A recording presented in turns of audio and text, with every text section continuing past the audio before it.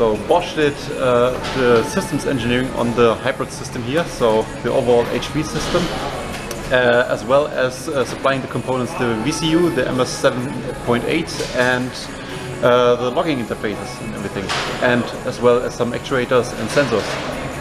So uh, I'm trying to explain the, uh, the location of the Bosch devices inside the car. Close to the driver, separated by a bulkhead finally. So all of the flashing black cases are the Bosch devices. The motor control unit, the power box, the hybrid control unit and also the, the external data logger.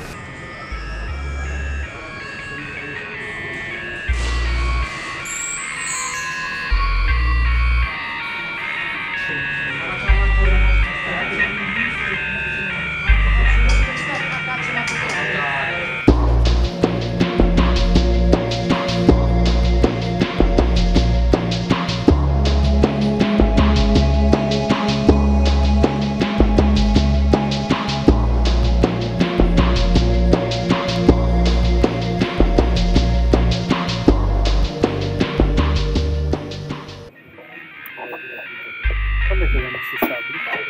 Anche qua si può attaccare il tabello. Posso attaccarlo?